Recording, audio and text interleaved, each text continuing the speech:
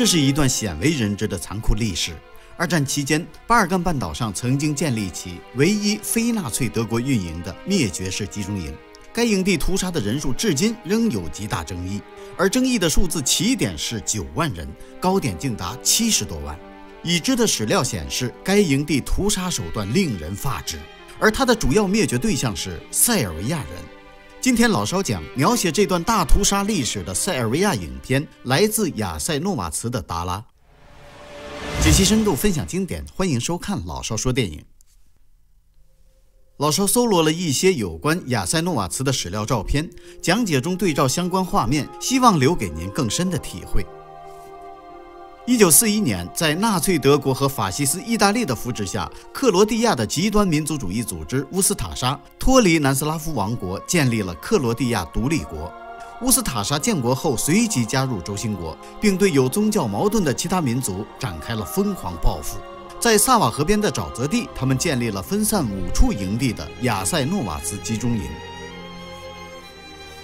又一批塞尔维亚人被押送至车站，看到农田里劳作的女人，十岁的达拉问哥哥：“他们和我们看上去不是一样吗？为什么不被带走呢？”哥哥告诉达拉：“他们是克罗地亚人。”他们用五根手指画十字，我们用三根。哥哥的话表明，克罗地亚人与塞尔维亚人的矛盾主要源于深刻的宗教矛盾。火车站悬挂着纳粹旗，乌斯塔沙军官宣布，有劳动能力的男人和妇女、儿童先上火车。跛脚大叔以为可以逃避劳动，所以选择了留下。得到军官允许后，高兴地亲吻了军官的手背。火车开动了，达拉通过封闭车厢的缝隙看到了那批没有劳动能力的塞尔维亚人的下场。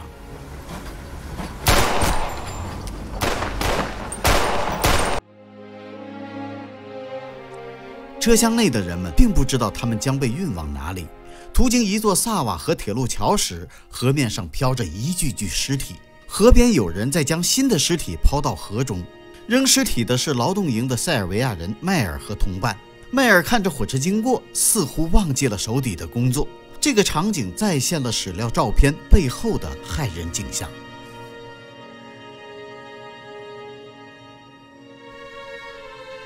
到达一号营地后，达拉妈妈看到做工的村里人，迅速上前偷偷询问丈夫迈尔的下落。得知丈夫还活着，达拉妈妈长舒了一口气。现在我们得知，扔尸体的迈尔是达拉的父亲。这是一个过渡营地，登记入营的过程中，所有的金银饰品和贵重物品必须全部上缴。一位老太太仅仅是隐藏了头发下面的一个首饰，营地副长官安特抬手就是一枪。十几个塞族人囚徒被带走，迈尔和同伴叹了口气：“今晚死神又放过了我们。”被带走的十几个人参加了乌斯塔沙军官的娱乐晚会，他们被命令玩一个抢椅子的游戏。欢快热闹的音乐，嘻嘻哈哈的军人，而玩游戏的人却一个个吓得浑身打颤。随着长官马克思忽然举手，音乐声戛然而止。塞族人急忙抢椅子坐在上面，没有抢到椅子的人被带到副长官安特面前。安特手起刀落。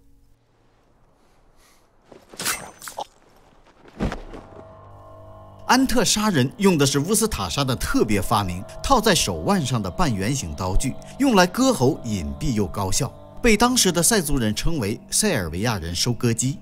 除了收割机，军人还使用了另一种杀人工具——直接击碎头盖骨的铁锤。游戏中，椅子一次次减少，塞族囚徒一个个被杀掉。按乌斯塔沙军官的话说，塞族人不值得使用子弹。第二天，营地的妇女儿童再次被集中。十五岁以上的男孩子将留下，被转往劳动营；其余的妇女儿童被带往四号营地。营地内顿时弥漫起骨肉分离的凄惨哭嚎声。达拉的哥哥长得比较高大，被军人指定要留下。达拉妈妈死死抱住哥哥，哭求着：“他只有十二岁。”不料，不耐烦的副长官安特忽然拔出了手枪。母子俩猝然殒命，这一切就发生在达拉眼前。达拉叫着妈妈，想要冲过去，被维拉大婶死死地拉住。达拉只好紧抱着弟弟，他内心的感受已经无法用语言描述。而长官马克思的妹妹蓝眼睛与一旁的恋人缠绵悱恻，很享受地看着这一切。更加悲惨的是，正在掩埋尸体的迈尔忽然看到了儿子的尸体，他轰然倒地，紧接着又扒出了妻子。这是一种怎样的人间惨剧？即使最伟大的悲剧，也难以描绘出这样的凄惨景象。同伴一边念诵东正教道文，一边要迈尔强压怒火，为了剩下的两个孩子，无论如何也要活下去。被军人注意到后，同伴谎称是自己精疲力尽，无法继续工作。迈尔强忍巨大的伤痛，掩埋了妻儿。从此，达拉和两岁的儿子布多成为他仅有的牵挂。妇女儿童来到了专门关押地四号营地，天主教修女为人们做登记。生病的孩子被强行送进医院。塞族人护士米拉小声警告达拉：“别让孩子哭，被送进医院可就出不来了。”可到了达拉登记时，小布多依然没有停止哭泣。面对修女的疑问，达拉机灵地说：“没东西吃，他只是饿了。”但修女依然认为年幼的达拉无法照顾弟弟，要带走布多。维拉大神挺身而出，抱过布多说：“我是他姑姑。”住进营房后，护士米拉偷偷塞给达拉一小块面包。吃过东西后，小布多终于睡着了。大人们被安排了工作，在拖玉米粒时，米大婶偷偷藏了一颗玉米在身上。收工后，塞族女监工蓝头巾无情揭露了米大婶，米大婶随即遭到一通暴打。不久后，维拉大婶和一大批成年女性被带去德国工作，女人们和孩子再一次经历骨肉分离，她们甚至不被允许和孩子见面说再见，坚持不走的同样是招来女长官的子弹。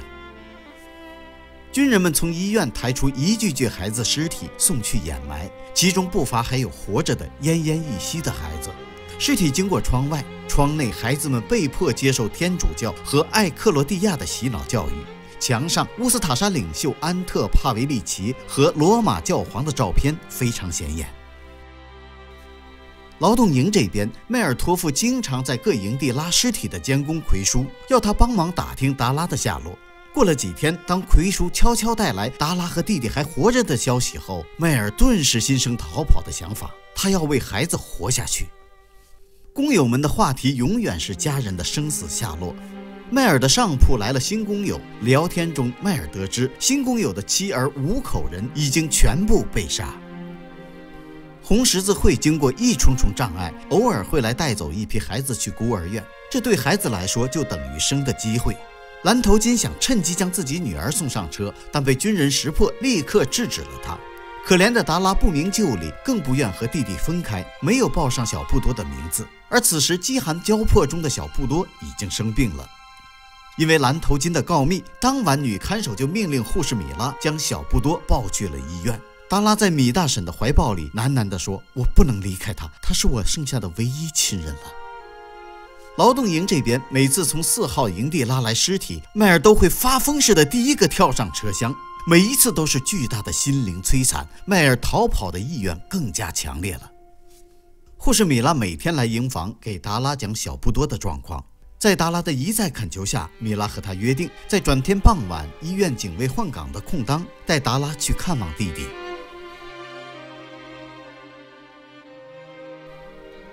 第二天，营地举行了小军人观礼式。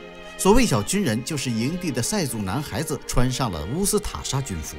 长官马克思慷慨激昂地要孩子们爱乌斯塔沙，爱克罗地亚，建设新的克罗地亚。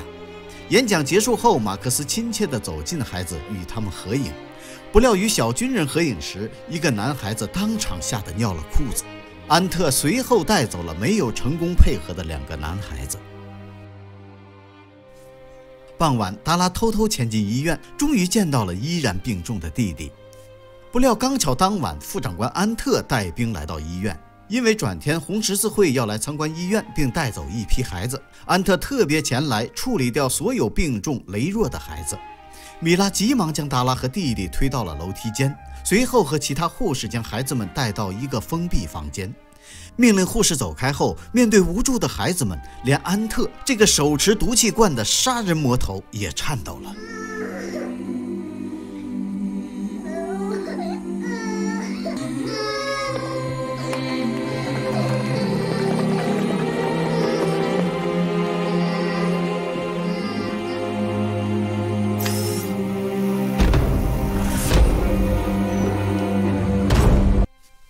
护士米拉终于说服达拉，将布多打扮成女孩子，顶替一个被杀的女孩，交给红十字会。即将和弟弟永久分离的达拉，看着哭泣的弟弟渐渐走远，忽然冒死跑出营地。护士米拉关键时刻弹开了女看守开枪的手臂，女看守随即一枪打死了米拉。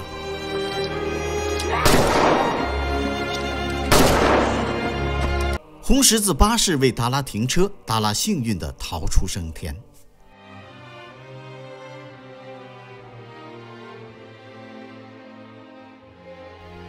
劳动营这边，迈尔决意要逃走。生无可恋的工友为了帮助他，主动先行逃离，引开看守的同时，也献出了生命。